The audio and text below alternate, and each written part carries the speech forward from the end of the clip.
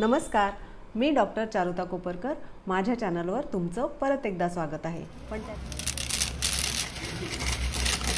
आजच्या व्हिडिओमध्ये आपण फराळाच्या पदार्थांमधली सगळ्यांची आवडती अशी कुरकुरीत शेव कशी बनवायची ते बघणार आहोत.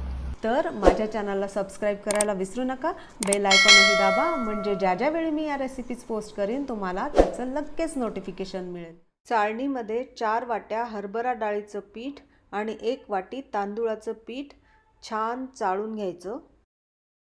या पिठात दोन चमचे हळद तीन चमचे तिखट एक चमचा हिंग आणि चवीनुसार मीठ घालायचं.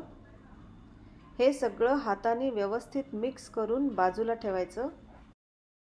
मिक्सरच्या भांड्यात दीड चमचा ओवा दीड चमचा जिरे आणि दहा ते बारा लसणीच्या पाकळ्या आणि अर्धी वाटी पाणी घालायचं. आणि मिक्सरमध्ये बारीक वाटून घ्यायचं. ही वाटलेली पेस्ट आपल्याला गाळण्यातनं व्यवस्थित गाळून घ्यायची आहे. हे गाळताना ह्याच्यातला अर्क निघावा म्हणून दोन ते तीन चमचे पाणी घालायचं. आणि उरलेला जो चोथा आहे तो फेकून न देता पराठ्यांसाठी किंवा भाजीसाठी वापरायचा. हा जिरे ओवा आणि लसणीचा अर्क जरा वेळ बाजूला ठेवूया. एका कडल्यामध्ये पाच चमचे तेल कडकडीत गरम करायचे. हा पोह्याचा चमचा आहे.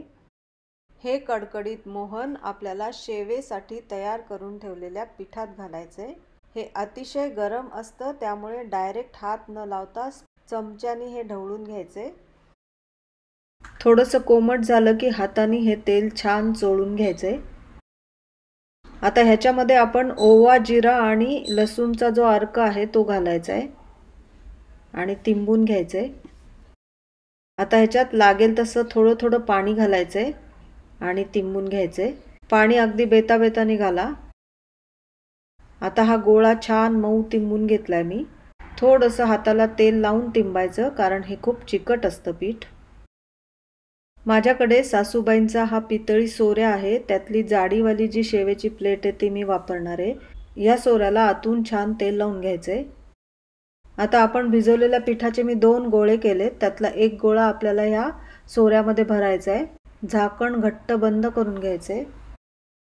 तेल मी ऑलरेडी तापायला ठेवलं आहे तेल छान तापलंय की नाही हे बघण्यासाठी पिठाचा एक छोटा गोळा आपल्याला तेलात घालायचा आहे. तो लगेच वर आला तर तेल छान तापलंय असं समजायचं. आता गॅस बारीक करायचा आहे आणि आपल्याला या गरम तेलामध्ये शेव पाडायची मी जसं दाखवलं आहे तशी ती शेव पाडा. आणि शेव घातल्या घातल्या वर बुडबुडे येतात. ते बुडबुडे कमी झाले की आपल्याला ही शेव उलट्या बाजूनी परत तळून घ्यायची आहे. आणि शेव बदामी हलक्या रंगावरच तळायची आहे आणि काढून घ्यायची आहे कारण तेलातनं बाहेर काढल्यावर सुद्धा शेवेचा रंग बदलतो आणि डार्क होतो. म्हणून थोडा हलका बदामी झाला कीच आपल्याला शेव तेलातनं बाहेर काढून ठेवायची आता शेवेला मस्त रंग आलाय. ही आपण टिश्यू पेपरवरती निथळत ठेवूया म्हणजे यातलं तेल सगळं निघून जाईल. आणि अशाच प्रकारे आपण सगळी शेव करून घेऊया.